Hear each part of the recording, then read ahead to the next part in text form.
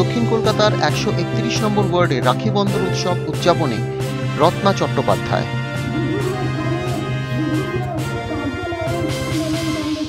দক্ষিণ কলকাতার একশো একত্রিশ নম্বর ওয়ার্ডের রাখি বন্ধন উৎসব উদযাপন করলেন রত্না চট্টোপাধ্যায়। সেই সঙ্গে সবার হাতে তুলে দেওয়া হলো মাস্ক। ভ্রাতৃত্ব বন্ধনে আবদ্ধ হলেন ওয়ার্ডের তৃণমূল কর্মী সমর্থকরা। শুধু তৃণমূলের কর্মী সমর্থকরাই নয় পথচলতি মানুষের হাতেও এদিন রাখি পরিয়ে দেওয়া হয়।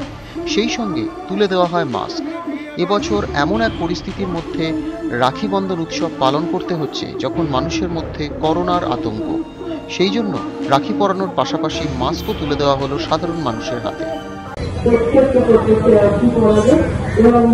রাখি আমাদের কাছে আবেদন জানিয়েছে যে রাখির বদলে যদি আমরা মাস্ক তাহলে আপনারা জানেন যে আজকে সারা পৃথিবীতে করোনা ভাইরাসের জন্য আজ মহামারীতে পরিণত হতো কত হাজার হাজার লাখ লাখ মানুষ সারা পৃথিবীতে মারা গেছে ভারতবর্ষেও প্রচুর মানুষ মারা গেছে।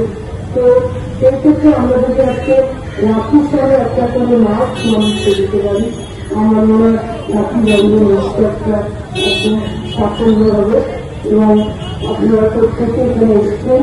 আমাদের ভাই বোনদের আমি অনুরোধ করব, রাখি এবং মাস্ক দেওয়া। সঙ্গে এবং করে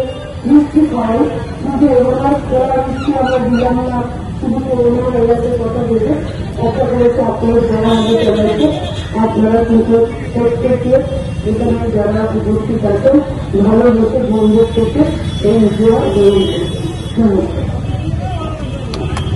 একটা তৃতীয় অনুষ্ঠান আছে যেহেতু কর্পোরেশন অনুষ্ঠানে হচ্ছে কলকাতা মিউনিসিপাল কর্পোরেশনের সক্রিয় কর্মী শ্রী কাজল রায় রত্না চট্টোপাধ্যায়কে পুষ্পস্তবকে অভিনন্দন জানাবেন শ্রী কাজল রায় রত্না চট্টোপাধ্যায়কে পুষ্পস্তবকে ঘটনার সাথে সরকারে দিয়ে তাকে